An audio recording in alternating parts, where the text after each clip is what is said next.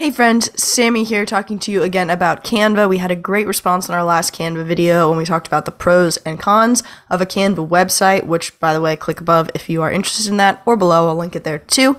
Today I want to talk to you about a big downfall I found, something you really need to be aware of when you create a Canva website, or else you may not have good luck with your website.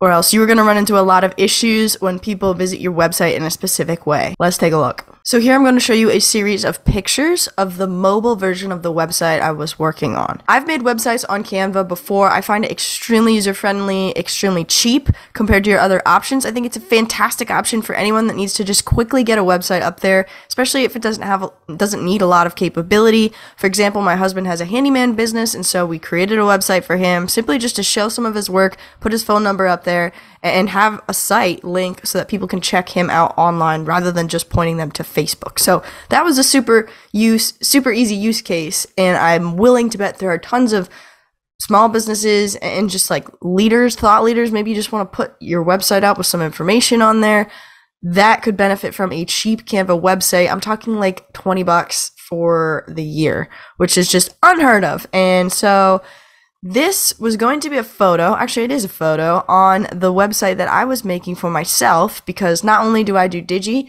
digi Digivangelism, which helps faith leaders and nonprofits with their social media and their websites, helping them share hope, healing, and light online because many of them need a little extra help with that. If you're on this channel, you might be familiar with us. But I also edit videos. I uh, have a company in which I do that. It's called VidBridge. And I just kind of post random content online. And I thought, hey, I could put all these things in one place so that when social media only gives me one link, instead of using a link tree, which, as we say on our channel, would be a good solution for faith leaders and nonprofits who might have a couple of things to link, I thought I might want a website that has a place to direct people to both my businesses and just some information about me. So that's why I was creating it. I thought this would be a great picture. I said, I can make a little Venn diagram, you know, Digi, VidBridge, and then the ways they overlap, like social media consulting is something I do within both of these companies, for example. And then maybe put some information about myself. Nothing, nothing extravagant. I was aiming to keep it simple, keep it quick. Maybe you are too. Let's take a look. Well, first, actually, let me show you what it looks like at the end. So in the end of, of it, this isn't exactly what I had envisioned, but it works. You can see the VidBridge stuff's on this side, Digi stuff's on this side. There's a button to get people to each of those sites. And then I have just some, a little information about things that I focus on in my own uh, content, which is not something I post a lot about here. And so I guess this is me being vulnerable. And here we go. I guess follow if you would like to. This is not a promo, but this is to show you what went wrong. So I thought it would be easy to do that because honestly, when I looked at Canva on the website version, like the desktop version is what I'm looking at, everything looked like this. Like everything looked good, even when I would hit publish and then I would later check the mobile version. The problem is Canva doesn't adjust super well for mobile. There is a button that lets you do that on and off, but let's take a look. Wow. So I had this Venn diagram, but somehow it like went over my face. It was just very cluttered. And then this stuff down here, when I, like I said, when I put it on, when I was working with it on Canva, it all looked like this. Desktop version looked exactly like this, but then I screenshot here my mobile version of the site and it's all, the text is all smushed up. This green blob is here. Whereas on this version, it was just like a nice gradient background. Now I have this blob the Venn diagrams on my face. It was a lot. And so I went back into editing. And then the next iteration here, uh, okay, we've got it above my face and I got the text to get in line. But here's the problem it is so small. Like this is zoomed in and it still looks small. Zoomed in and it still looks small. So I don't really want to cite that when people go on it on mobile, which by the way, most people will probably find you on mobile on social media or someone texts it to them or even they check their email on mobile. They're going to get to your site and they're going to have to zoom in, like like literally zoom into the screen to see your content. It's not going to happen. Don't make it harder for people than it needs to be. And while I'm not trying to get like a lot of clicks for anything. I am trying to make it convenient for folks to find out how they can connect with me. So back to the drawing board. I need to get this blob gone. I need this bigger. I need this bigger. And honestly, I still can't, you know, see this very well. Um, and so I went back to editing. And let me remind you, meanwhile, on the Canva desktop view, everything looks like good.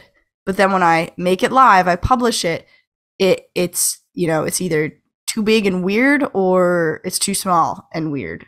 So you kind of have to troubleshoot, which I do find to be a negative. I let it do its website mobile thing and adjust naturally, and this is what happens. Now, my spouse's site does use a template, which I think might solve your issue here if you're having trouble where where your text is just like going over your face or it's just like you look at it and it's like this on the desktop version and then on the mobile version it's just in a straight line a weird line. Um, but that's not what i wanted. So a template might help you out with that.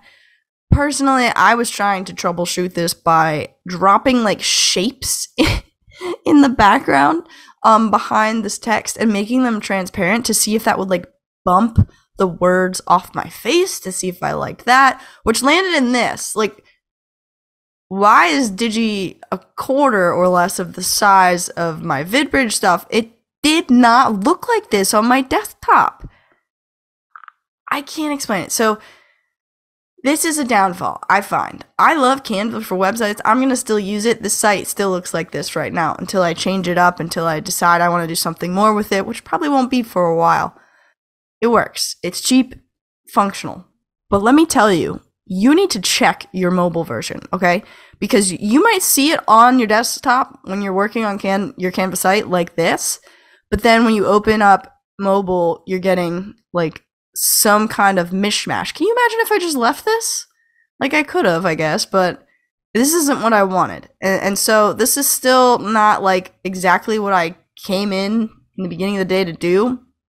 And it did not want to be as functional as I thought it could be but at the end of the day, this works for me and it's still cheap. It I can click buttons and get people to my site, and that's enough. So, the moral of the story is check your mobile version when you're making a Canva website. Yes, I think they are still worth it, but if this is going to drive you like off the wall, don't even bother and maybe like use an actual website setup. This is more like I think a cheap option if you're just getting started, you just need the bare minimum. It's absolutely amazing for that but everything else, this might be more headache than it's worth. And that's my rant. What other questions do you have about Canva? Don't forget, you can still get access to our digital ministry training hub where we already have trainings on Canva in that hub. I'll drop the waitlist link below for a special discount offer. If you need walkthroughs for social media help, TikTok, Instagram, Reels, you name it, website help, any kind of digital communications help for your nonprofit or ministry, you're going to want to take advantage of this deal. Let us know what you think. Today we brought the knowledge. Your turn. Put it into action.